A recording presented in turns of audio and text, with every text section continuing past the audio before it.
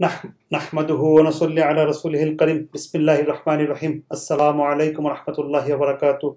আউযু বিল্লাহি মিনাশ শাইতানির রাজীম। বিসমিল্লাহির রহমানির রহিম। রব্বি ইশরাহ লি সাদরি ওয়া ইয়াসসির লি আমরি আমরা কোরআন এবং সুন্নাহকে আঁকড়ে ধরা, এই বইটা এখনও কন্টিনিউ করতেছি, আলহামদুলিল্লাহ। আমরা লাস্ট পার্ট করছিলাম পার্ট ফাইভ এখন পার্ট সিক্স যেমন আল্লাহ তালা এখানে বলতেছেন, এটা এটা চ্যাপ্টার ছিল আমাদের যে সে ব্যক্তির জন্য সঠিক পথ সংশোধন ও কল্যাণ রয়েছে, যে কোরআন এবং সোনার অনুসরণ করেছে ও তা মজবুতভাবে আঁকড়ে ধরেছে। তো এখানে আল্লাহ বলতেছেন সুরা নূরের চুয়ান্ন নম্বর আয়াতে বলুন, তোমরা আল্লাহর আনুগত্য করো এবং রসুলের আনুগত্য করো।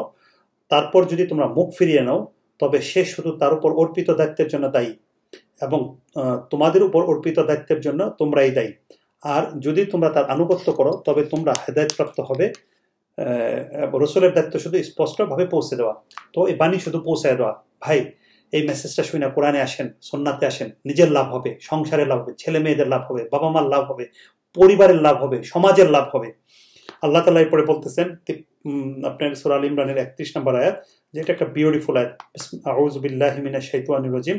قل إن كنتم تحبون الله فاتبعوني يحببكم الله ويغفر لكم ذنوبكم الله غفور رحيم বলুন যদি তোমরা আল্লাহকে ভালোবাসো তাহলে আমার অনুসরণ করো কার রসুল সাল্লাহ সাল্লামের অনুসরণ করতে বলছে আল্লাহ তোমাদেরকে ভালোবাসবেন এবং তোমাদের পাপসমূহ ক্ষমা করে দিবেন আর আল্লাহ অত্যন্ত ক্ষমাশীল পরম দয়ালু কি বিউটিফুল আয়াত ভাই আসেন কোরআনে আসেন আল্লাহ তালা এরপরে বলতেছেন আহ, যে উম, আর যে আল্লাহ তার রসুলের আনুগত্য করে, আল্লাহ তাকে প্রবেশ করাবেন জান্নাত সমূহে তার তলদেশে প্রবাহিত রয়েছে নহর সমূহ যেখানে তারা স্থায়ী হবে।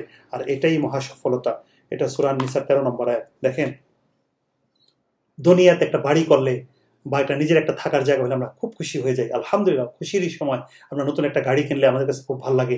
নতুন যে কোনো একটা জিনিস কিনলে, একটা মোবাইল ফোন কিনলে খুবই ভালো লাগে। আলহামদুলিল্লাহ কিন্তু খেয়াল করে দেখেন যে এটা একটা সার্টেন পিরিয়ড পরে ওই বাড়ি অত ভালো লাগে না, ওই মোবাইল ফোন অত ভালো লাগে না, ওই নতুন জিনিস অত ভালো লাগে না। কিন্তু আল্লাহর জান্নাত, রসুল বলছেন, চোখ যা দেখে নাই কান যা শুনে না অন্তর যা কল্পনা করতে পারে নাই। সুবহান আল্লাহ এবং কোন জান্নাত? মানুষ কোনোদিন ওখান থেকে বের হয়ে আসতে চাইবে না। সুবহান আল্লাহ তাহলে দেখেন, এরকম একটা বিউটিফুল জিনিসটাকে আমরা চেষ্টা করব না। দুনিয়ার এই এই দেখেন অস্ট্রেলিয়াতে আমি সিডনিতে থাকি, আলহামদুলিল্লাহ, এখানে একটা বাড়ি করতে আট লাখ, নয় লাখ, দশ লাখ এক মিলিয়ন ডলার লাগে। এই সামর্থ্য আমাদের অনেকেরই নাই। তারপর আমরা জীবনপ্রণ যুদ্ধ করতেছি, একটা বাড়ি হতেই হবে। একটা বাড়ি না হলে আমাদের ভালো লাগে না, আমাদের প্রেস্টিজ লাগে না, বা আমরা ইনসিকিউর ফিল করি, অথবা কারও প্রয়োজন, কিন্তু আমাদের সামর্থ্য নাই। টাকা ধার করি, বা বিভিন্নভাবে চেষ্টা করতেছি। এখন যদি আমাকে প্রশ্ন করেন, জান্নাতের জন্য কি আমি এটা চেষ্টা করতেছি? উত্তর হবে না। তাহলে আসেন, আমরা সেই জান্নাতের জন্য চেষ্টা করি। জান্নাতের জন্য চেষ্টা করলে দুনিয়া আখেরা দুনো জায়গায় লাভ। দুনিয়াতে লাভবান হব, আখেরাতে আমরা লাভবান হব। রসুল সাল্লাহাম বিদায় হজে বলেন, আমি তোমাদের মাঝে আল্লাহর কিতাব তার নবীর সুন্নতকে রেখে গেলাম। যদি তোমরা তা মজবুতভাবে আঁকড়ে ধরো, তবে কখনো পথভ্রষ্ট হবে না। তাহলে পথভ্রষ্ট থেকে বেঁচে থাকার রাস্তা দুইটা, তৃতীয় কোনো রাস্তা নাই। এক হলো কোরআন এবং সন্না কোরআন এবং সুন্না এই দুইটাকে যদি আমরা আঁকড়ে ধরে থাকতে পারি, তাহলে আমরা পথভ্রষ্ট হব না, পথভ্রষ্ট হব না। এটা সহি মুসলিমের হাদিস। আর অন্যান্য হাদিস গ্রন্থ এটা কোট করছে। আল কোরআন ও সুন্নার উম্মতের জন্য রসুল ইসলামের সবচেয়ে বড় ওয়াসিয়াত। আবদুল্লাহ ইবনে আবু আউফা রাদিয়াল্লাহু থেকে জিজ্ঞাসা করা হয়েছিল যে রসুল সাল্লাম কি কখনো ওয়াসিয়াত করেছিলেন? অতঃপর তিনি বলেন তিনি আল্লাহর কিতাবের প্রতি ওয়াসিয়াত করেছেন। তাহলে দেখেন, আল্লাহ রসুল সাল্লাম আমাদেরকে আল্লাহর কিতাবের প্রতি আসতে বলতেছেন। এটা বুখারি থেকে কোট করছেন এটা। রসুল যখন মদিনার পথে ছিলেন, তখন আল্লাহর কিতাবের প্রতি ওয়াসিয়ত করে বলেন, আমি তোমাদের মাঝে দুটি জিনিস ছেড়ে যাচ্ছি।